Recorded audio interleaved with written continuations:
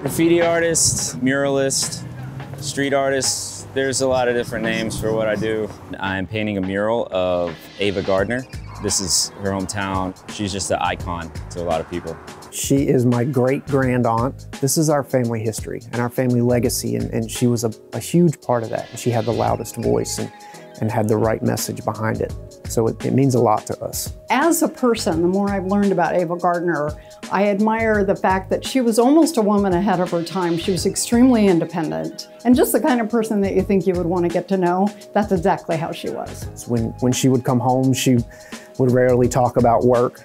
She was just Aunt Ava to us, just a Southern girl that was in movies and on TV. This year is Ava's 100th birthday on Christmas Eve 2022, and we wanted to do something big for her birthday.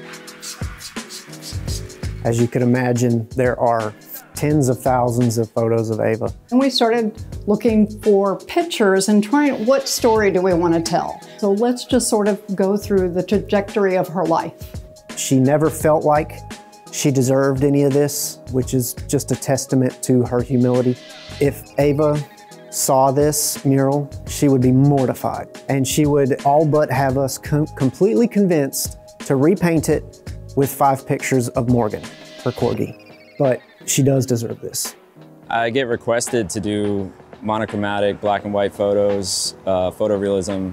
I kind of fell in love with the timeless aspect of a black and white photo. If you just stand outside for a few minutes, you'll see people walking down the street or even driving and they kind of slow down. It's really cool to be able to contribute to each town I go to. This was corrugated metal before this and now it's going to be, you know, a frequented landmark. I'm hoping that it'll bring a lot more visitors if they can see the mural and it can spark a little bit of interest in who she was as a person. I think that would, that would do the world a lot of good.